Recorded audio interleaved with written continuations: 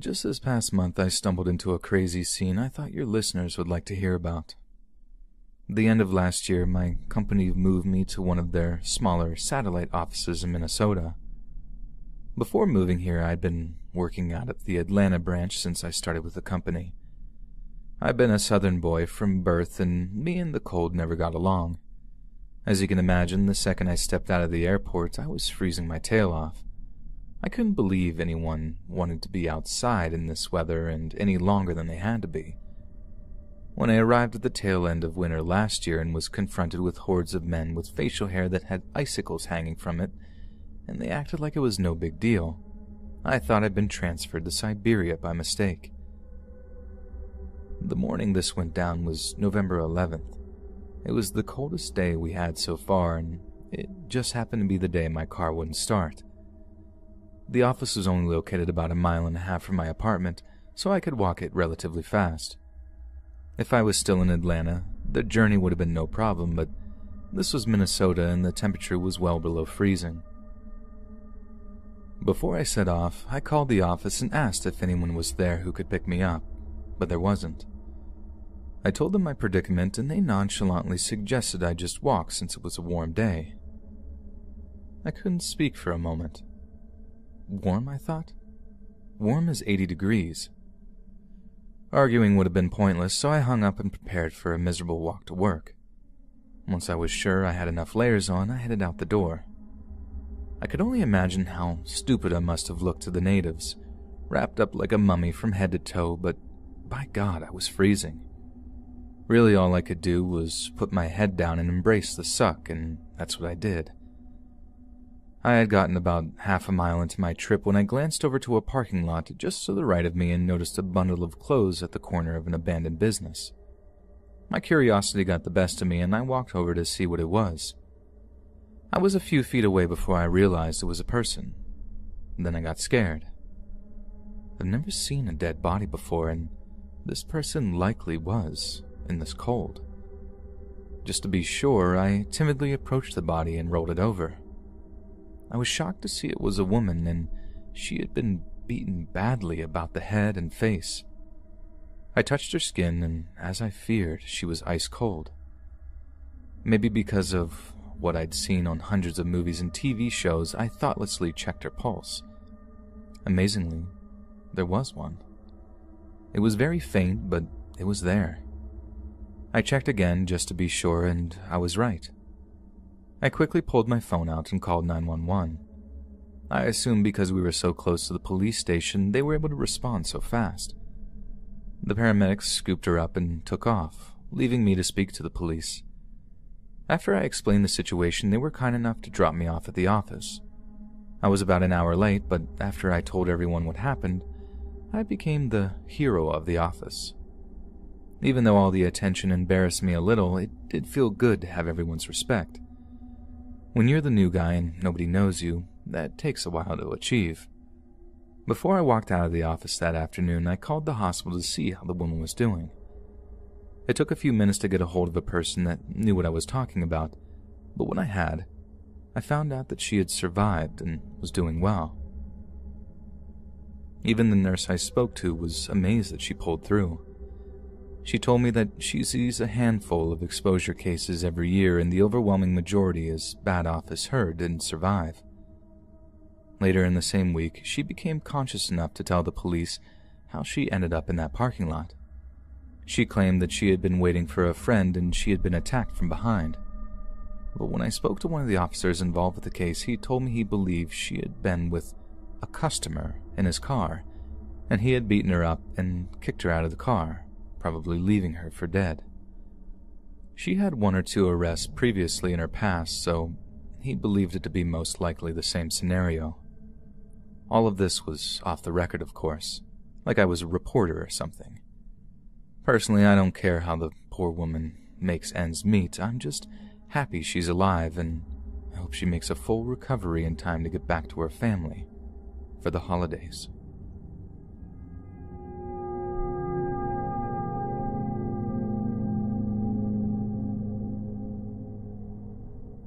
Winter is long and cold up here, but fun nonetheless.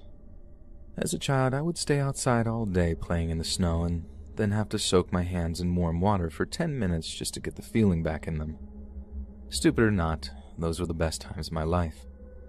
However, the winter I was in fifth grade, something horrible would be set in motion in my town.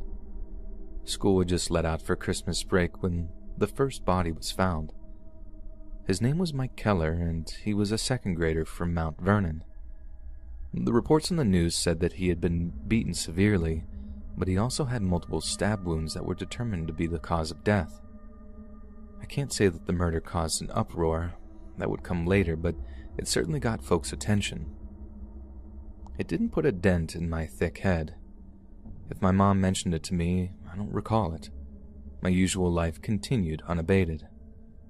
Day after day, I would spend my time playing in the snow, only taking breaks to eat and play Minecraft. Things didn't really ramp up until another kid was found. This one turned out to be from my neck of the woods. The police reports echoed that of the previous murder, although the stab wounds were far more numerous than on the body of Keller. Now was when the parents, county-wide, started taking the threat more seriously. I'm sure every kid got the same speech I did, warning of the dangers of talking to people you didn't know. When everyone would discover the truth behind the murders, it would be much more horrible than they expected. If any kid paid attention to their parents' warnings, I wasn't one of them. My mom's words went in one ear and out the other. Since the snow had long melted after Christmas Day, I had plans to meet up with friends at our hand built fort in the woods. But when I got there, the only people around were two kids I didn't know very well. One was a seventh grader, and the other was a year behind me. He went to the same school as I did, and the rumor was that he had been held back twice. From the looks of him, the rumors were true. Despite only being slightly taller than me, he was already showing signs of a mustache. When it comes to the older kids, I didn't know much about him other than he had a reputation for being mean to younger kids, so the second I saw him, I got very nervous. The two of them, whose names I'm not going to mention here for the reason you will soon see, were acting like they were my best friends despite never talking to me before. When the older boy asked me if my friends were on their way, I foolishly told the truth. If they weren't already at the fort, they probably wouldn't be coming. This must have been the answer they were hoping for, because as soon as I said it, they began their attack. The older boy sucker punched me to the ground. I came very close to passing out. Now I know if I had, I would have been number three on their hit list, but somehow I stayed awake. I used a nearby tree to get to my feet just in time to see the younger kid pull a folding knife from his pocket.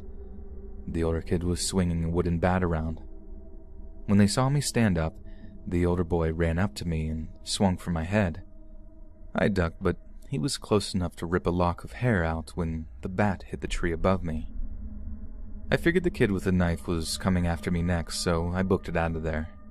My legs were still a little rubbery, but I knew if I stopped, I was dead. The older kid was right on my heels, and my lungs were burning terribly. However, I was fortunate to live on the edge of the woods and made it inside my house before they caught up with me. I ran into my mom, and I breathlessly tried to explain what had just happened. She understood enough to be upset and yelled for my dad to call the police. My mom quickly explained the situation to him and he relayed it to the dispatcher. The police came quick and I told them what had happened and who did it. They had no problem finding the boys, they must have known it was over for them and they both went home and waited. The brutality of the murders was taken into consideration and it was decided to keep them in custody until their trials. Naturally, the DA wanted to try them as adults, but they were just a bit too young. Since each boy was blaming the other, despite both being responsible, they were tried separately. Neither showed any remorse, and as a result, they were given life for each murder and 15 to 25 for the attempt on my life. Had this happened just a few years earlier, they both would have been likely given life without parole for each murder charge. But recent legislation states that an offender cannot be given such a sentence if they committed their crime as a youthful offender. Ultimately, the legislation mattered not. Both boys were transferred to the adult system at 21, and because of crimes they committed inside, they probably won't ever get out. And that's the way that I like it. It was glaringly obvious to everyone around at that time that they weren't right in the head. It's just terrible that two young boys, and almost me, had to lose their lives before something was done about it.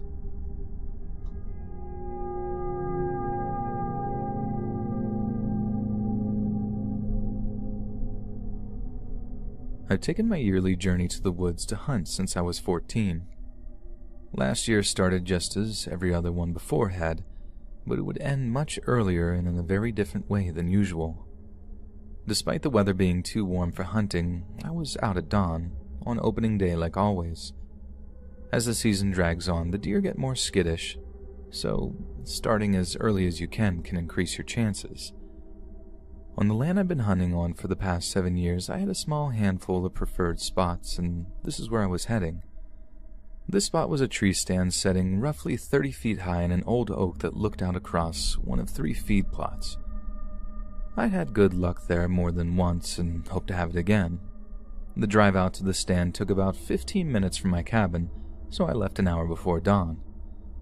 I wanted to be on the stand just as the first bit of light broke, as usual, I parked my four wheeler about 50 yards away and walked the rest of the way in. I'm not sure if it makes any real difference, but not making a bunch of noise right next to where I'd be hunting seems like a wise idea, so it's a practice I try to remember to do each time I hunt. Although I'd been up over an hour and had a couple of cups of coffee, I was probably a little groggy. I've never been a mornings type of guy, and once I retired, I've gotten up when I woke up, no certain time so I slung my rifle onto my back and began to climb. About three steps from the top, with the seat in sight, one of my feet slipped from the ladder and I fell about 25 feet onto my back. Somehow my rifle ended up next to me rather than under. There was no pain at first, so I figured I'd just get up and dust myself off. However, I discovered very quickly that at least one, if not both legs, were broken. As I sat up to examine my legs, pain began shooting through my back and body. It appeared then that in addition to broken legs, I had a major back injury. My usual high pain tolerance was letting me down, and the adrenaline was beginning to wear off. I knew in a matter of minutes I was going to be screaming in pain. I began feeling for my phone and soon found it in my chest pocket. Luckily, I didn't land on my chest right. Being out in the middle of nowhere didn't necessarily mean there wouldn't be any cell service. In my neck of the woods, cell towers are more common than trees. I dialed 911 and waited, but the call dropped. The pain was making me very nauseous, and I was having a hard time concentrating. It took me a moment to realize I was going to need to move if I had a chance of getting help. I couldn't think of any other way, so I gritted my teeth and rolled over onto my stomach. The pain very nearly caused me to pass out, but the stars soon passed, and I began pulling myself forward with my arms. I made it around 15 yards before I was forced to take a break. Once I had pulled myself together, I tried to call 911 again, but it was a no-go. I looked around and noticed I was still under the trees, but there was a clearing not far away. I gritted my teeth again and pulled myself toward it. I had to take a couple of breaks, but eventually I was in the open. I crossed my fingers and pressed send. The wait was agonizing, but it finally began ringing and I was connected to a dispatcher. The pain made the wait for help to arrive seem even longer, but because of my location and clear directions, they made it to me within 30 minutes. As I laid there, I watched the sunrise, thinking how beautiful a scene it was to see. I only wished it was under better circumstances. By the time I was released from the hospital a few days later, I would have two broken legs and a broken back, which really was crushed vertebrae. The legs would just have to heal with time, but with my back, I've had to have a couple of those vertebrae fused. The surgery was done just a few months before this year's hunting season started, and you can be sure I was there waiting for the sun to rise on the first morning One thing has changed, however. For the time being, I'll be hunting from a blind on the ground. There's no way I'm going to go another year with an empty freezer.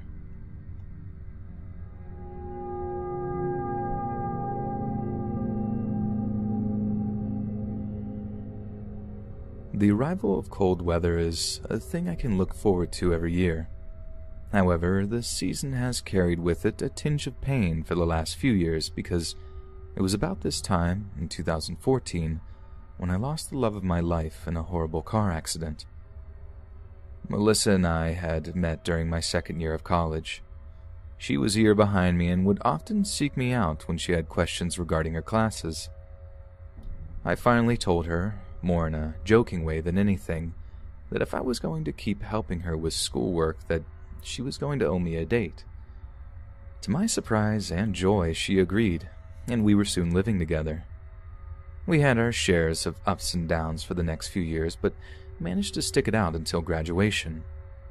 Once we were both out of school, we made the next step and were married the following June. We weren't in a hurry to have any kids. We both had new jobs and lacked the security we would gain with time. When the time did come, we proudly announced the impending arrival of our first child, a boy, just days after our third anniversary. On the last week of March 2011, Jason Jr. came into our lives kicking and screaming, and I've never been happier. As you can imagine, life was hectic for a while. Not until 2013 did we have the energy to go for one more, which we decided at the time would likely be our last. Having more wasn't out of the question in the future, but for now it seemed wise. It didn't take long before we had a new one on the way. Another boy, according to the doctors. The news of another boy on the way had me elated, but I couldn't help feeling that my life was going too well. Despite my misgivings, I went ahead into life with both feet. After an especially grueling summer, the arrival of fall was a welcome change.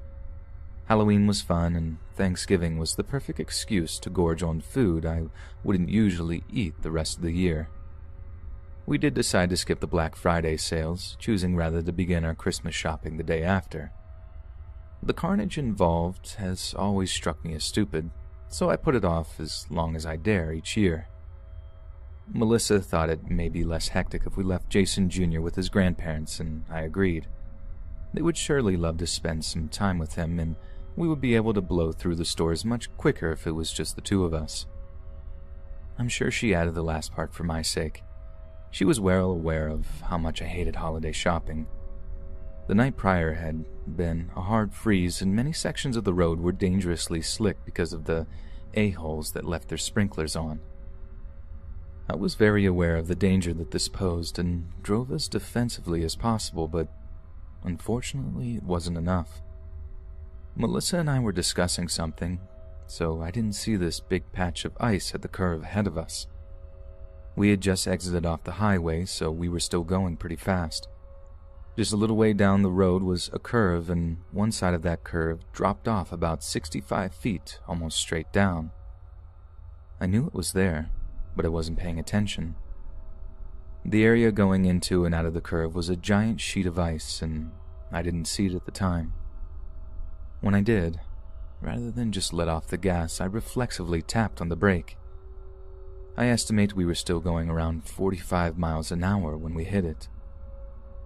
Because of my stupid driving, we slid quickly sideways, hit the curb, and flipped down the hill, spinning the whole time.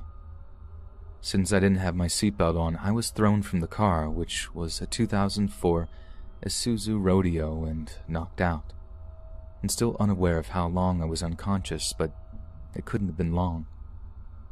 When I opened my eyes, I realized I was at the top of the hill. I strained to turn my head to see where the car had stopped and eventually caught sight of it laying upside down at the bottom of the hill. The roof had been crushed flat, with the body, and I couldn't see Melissa moving. I hoped at the time that she had also been thrown and survived, but she had not. To make things more horrific, the rodeo caught fire a few minutes later, and there was nothing I could do but lay there with a broken body and watch my wife and future child burn up. possibly even alive for all I knew. All I could do was sob uncontrollably until I passed out again. I wouldn't regain consciousness completely until that night. The pain I was feeling could only be matched by the grief I was feeling from the loss of my wife and child. I called for the nurse and she came in and showed me how to work my morphine pump. Once I was aware of it, I found myself pushing the button often. Around midday the following day, I spoke to the doctors and then the police. The doctors informed me that I had broken both of my legs, three vertebrae, and had a concussion among many other injuries. Needless to say, I was going to have a long, hard road ahead of me. The police had even more bad news to share. I hadn't bothered to ask about Melissa's condition. I knew if she would have made it, somebody would have said something. My hopes that she had been thrown free of the car were shot down. The only positive thing, which you really can't call positive, was that she and the child had died on impact with the ground. I attempted to soothe myself the knowledge that they, at least, hadn't burned alive, but it proved to be cold comfort. Jason Jr. stayed with my folks during my holiday stay, and once I was released, they stayed with me a while to help me until I could function on my own. I'm not going to say much about the funeral. It's still too painful of a thing to recall. Since that time, I've undergone two back surgeries and foresee at least one more in the future. I was ruled to be disabled by Social Security and now live off the benefits I receive. I'm also able to make a little on the side doing tax consulting, so Jason Jr. and I get by okay. Jason Jr. was still too young to really remember his mother. However, now that he's at that age to be aware of her absence, I tell him all I can about her. Make sure he knows how much she loved him, and maybe in a few years, I'll tell him about his little brother, too. Every day I'm reminded of how much I lost that day, but then I realize how much I have gained. My time with her may have been brief, but every moment of it was great. We created a beautiful and bright boy together. I'd say we did pretty good. I think Jason Jr. and I are. We're gonna. We're gonna be alright.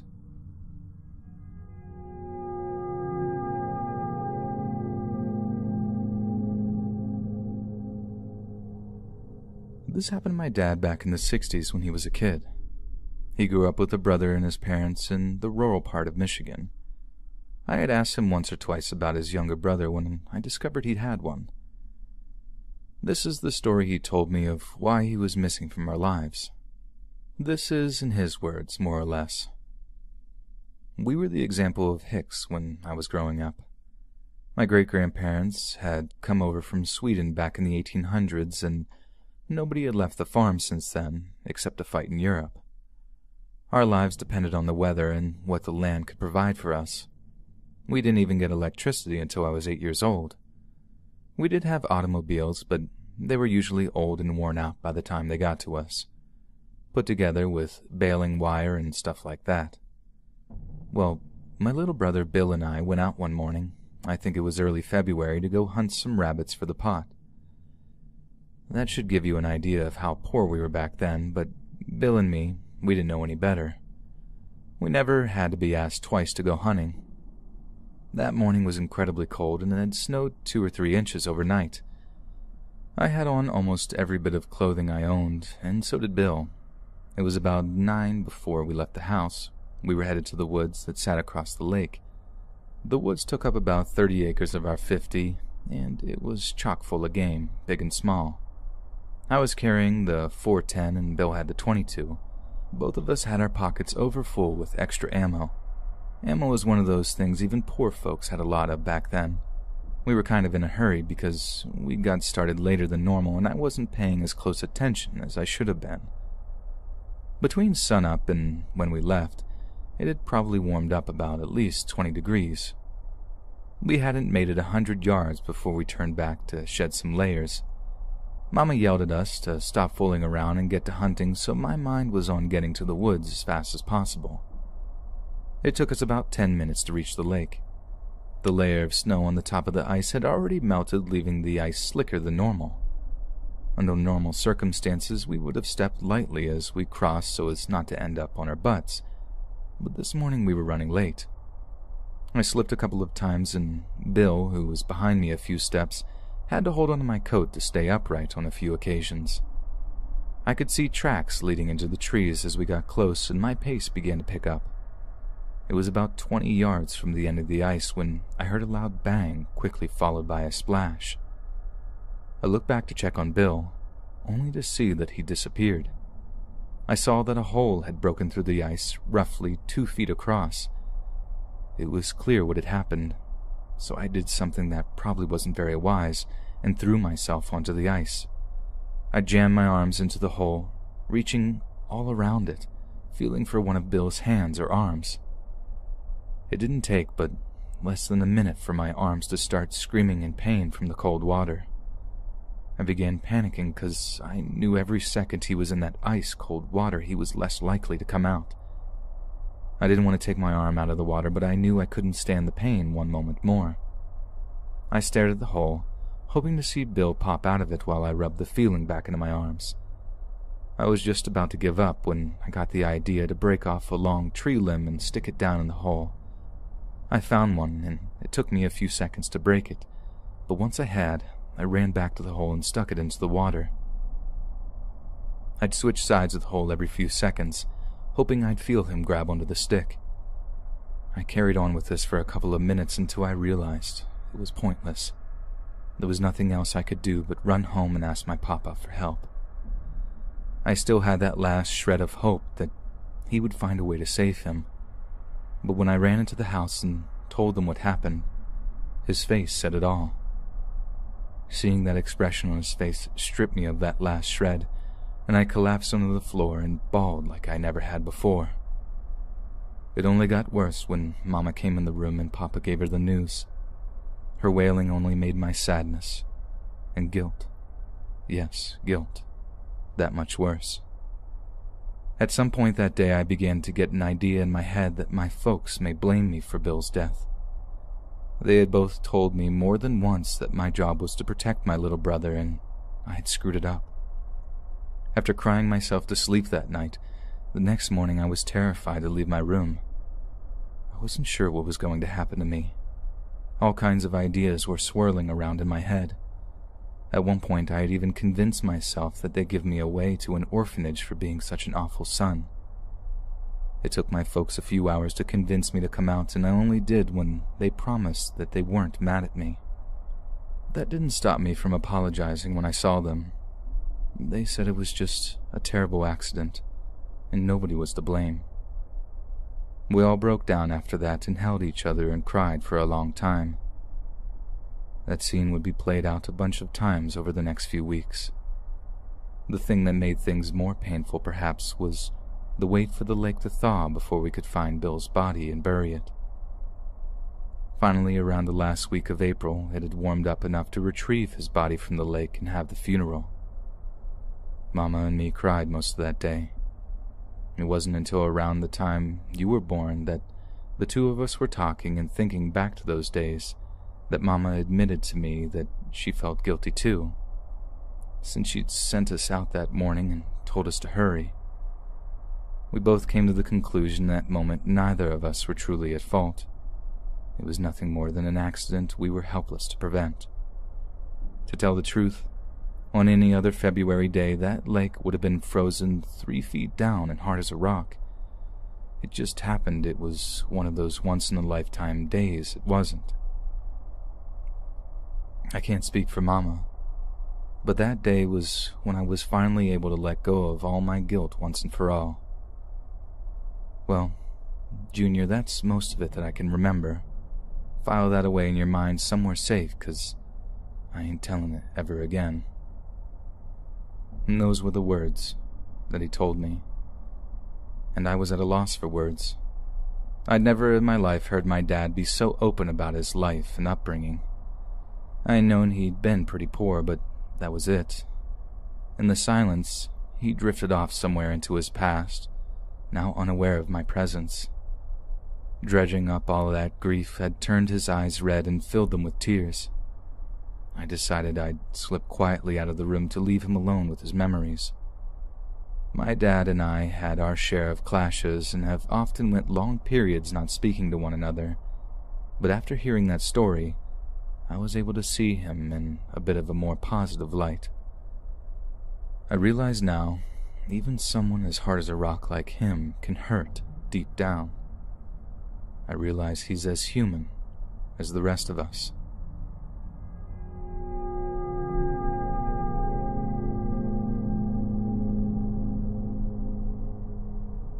The following is an account of a terrified child and how he learned to overcome the trauma that had caused it as an adult. Mom and Dad had to go out of town for a reason I don't exactly remember now, and they left with my dad's mom, Granny Pearson. Granny P, as she was called, lived on a farm way out in the middle of nowhere in Kansas. My dad and his two sisters had grown up on the farm, and I spent most of my first seven years of my life there myself. It was some point between January and February when this would happen. I remember a really bad ice storm had just blown through the area. The loud bang coming from the trees snapping under the weight of all the ice made me jump out of my skin a few times before I got used to it. There was just Granny P and I around then. Grandpa P had just died before I was born, and this left Granny P the only person living on the farm full time. She was a big woman. Not fat, really, stocky more than anything, but a very kind woman. I would often go to her after my mom had told me I couldn't have something, and she would usually give it to me. When my mother told me I'd be staying with her for a few days, I was ecstatic.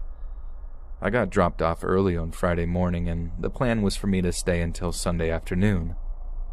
Granny P made us breakfast, and then we spent the rest of the day watching TV and playing games. After supper, we did more of the same until bedtime. The bed was made for me in my dad's old room, and she kissed me good night on my forehead. The next morning, I woke up really cold, and the sun was already up, which was weird. Although she never ran the Dearborn heaters at night, Granny P was always up before me, turning them on to make the house warm and cooking breakfast. She would allow me to stay in bed until the food was ready and wake me up when it was time to eat. This morning, none of that had happened. My curiosity overtook me, and I ran down the hall to her room. When I opened the door, I could see she was still in bed, so I jumped onto it to wake her up. I pushed on her several times, but she didn't move. I did it a few more times, and still nothing. I wasn't sure what to do.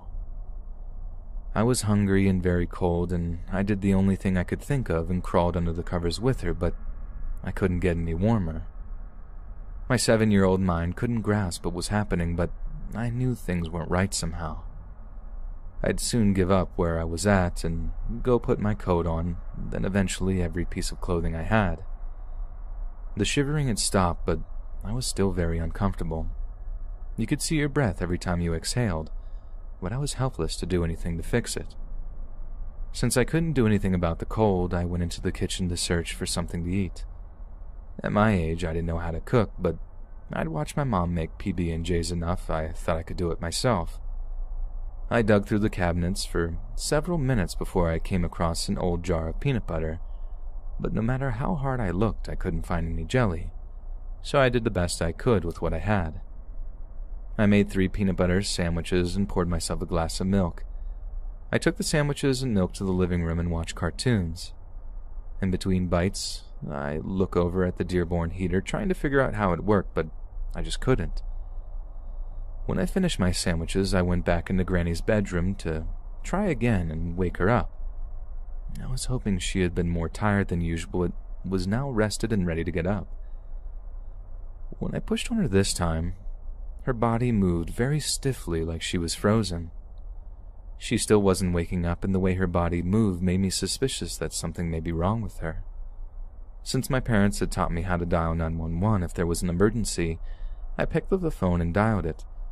But for some reason, likely due to damaged lines because of the ice storm, the phone didn't work.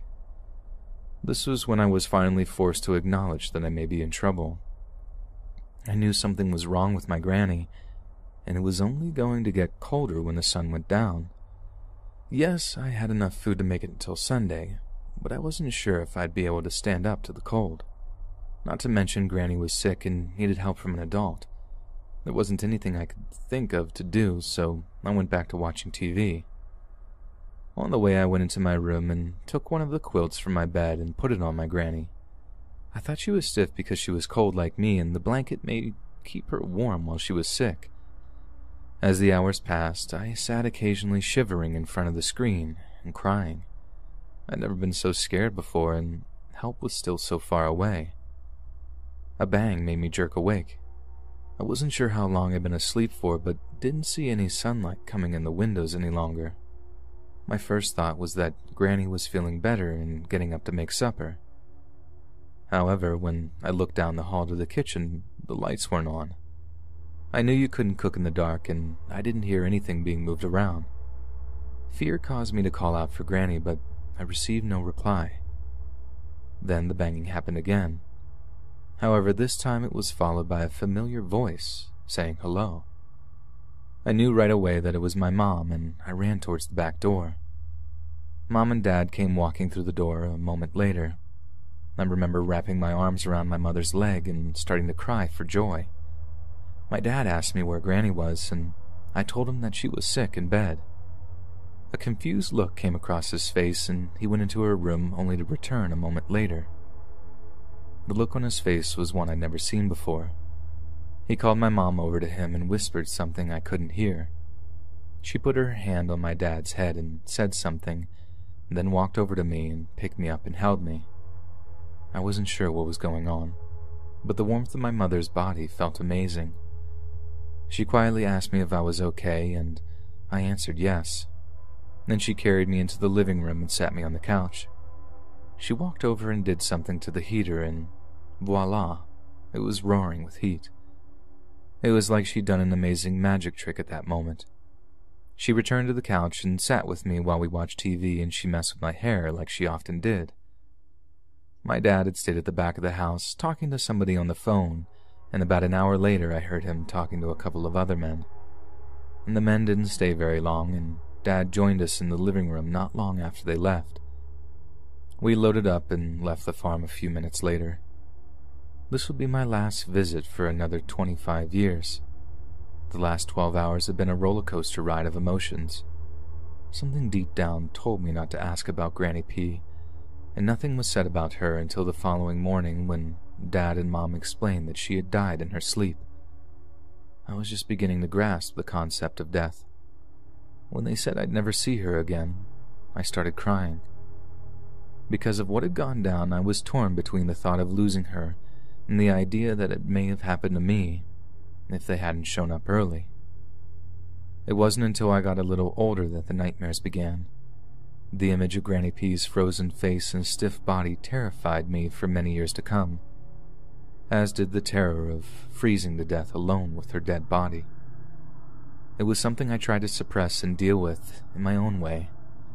Not until I met my wonderful wife and she witnessed the night terrors I was experiencing that I was convinced to seek help. Several years of counseling would follow until I was able to face my fears head on and return to the house.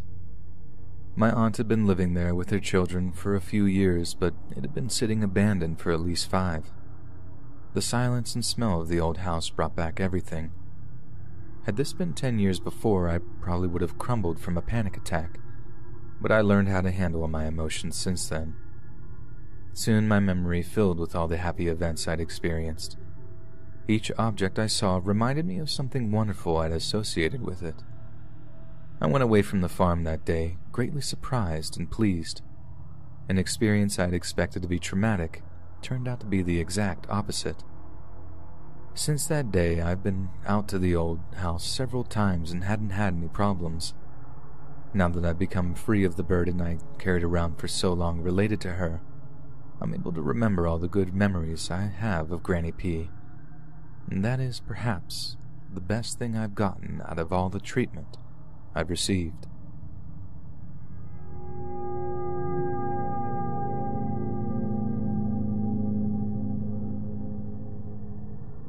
I'm not sure how common the trope of the guy who went to the store to get some cigarettes and never came back is in today's virulent anti smoking world. However, in my youth, it was still alive and well. Until an incident like this occurred to a friend of mine, I'd always thought it was an excuse mothers used to explain to the children why their father had left them. To my surprise, when I was a junior in high school, I discovered how true this excuse really was. My friend's dad had been working undercover for the local police department for as long as I'd ever known.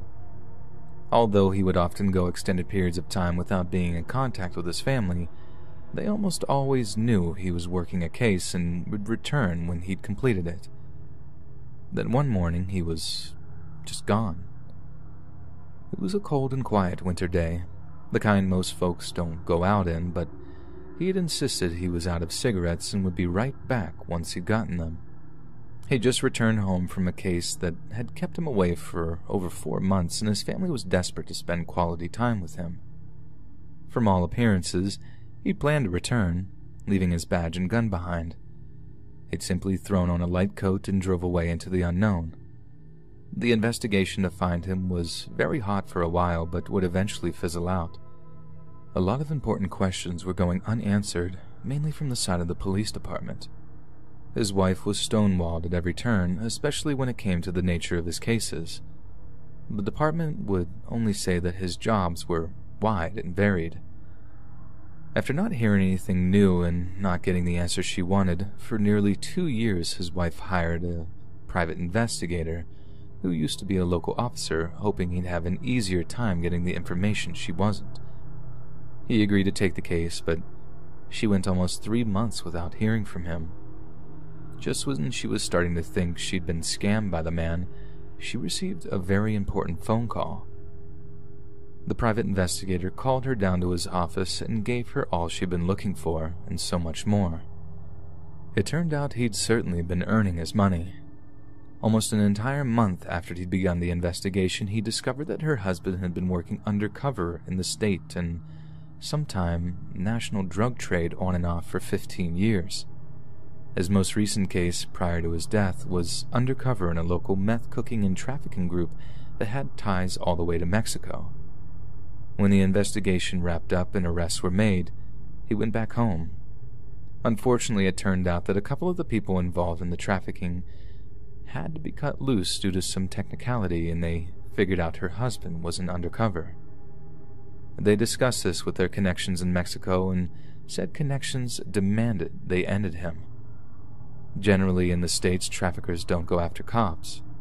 It's always been kind of an unspoken rule, but no such belief is held across the border in order to maintain a good working relationship. They agreed.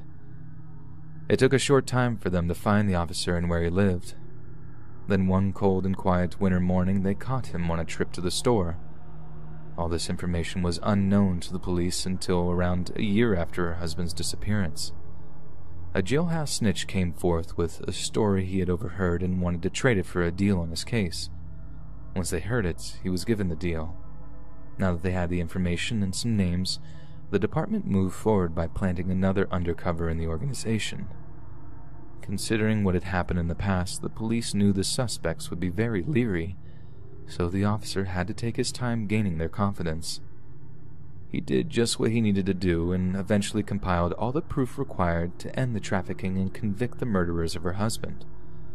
The PI had known all about the investigation for a little while, but was unable to say anything until arrests were made. That morning, he had called her to give her all of his findings. The arrests had begun, and he was given the okay to let her in on everything he knew. The private investigator told her in his entire time in and out of law enforcement, he had never heard of a cop being allowed to stay on undercover work for as long as her husband, especially in local capacity. A couple of other narcotics cops told him, off the record, that they had heard that her husband had been asking to transfer out of the unit, but the transfers kept getting blocked. This last tidbit of information was quickly followed up with a reminder that the police department rarely admits when it's at fault for something, and she should give up on the idea of anyone connected to it accepting any guilt in his death. She took his advice and thanked him for all his hard work. In the following weeks, the remains of her husband would be recovered and given a proper funeral. I attended the service, and it definitely had an air of bitter sweetness to it. Everyone had given up hope on him being alive long ago, and were just happy to have him back and know what happened. I would soon go off to college and lose contact with my friend, but I did keep up on the case and was happy to see his dad's murderers were convicted. They have both since been executed, and I hope they're burning in hell. Hey friends, thanks for listening. Be sure to subscribe and click that notification bell to be alerted of all future narrations. If you got a story, be sure to submit them to my subreddit, r Let's Read Official, and give and receive feedback from the community, and maybe even hear your story featured on the next video. And join my Discord to interact with me and other listeners directly. And if you want to support me even more, grab early access to all future narrations for just $1 a month on Patreon and maybe even pick up some Let's Read merch on Spreadshirt. And check out the Let's Read podcast, where you can hear all these stories in long compilation form and save huge on data, located anywhere you listen to podcasts. Links in the bio. Thanks so much, friends. And remember to always embrace the suck.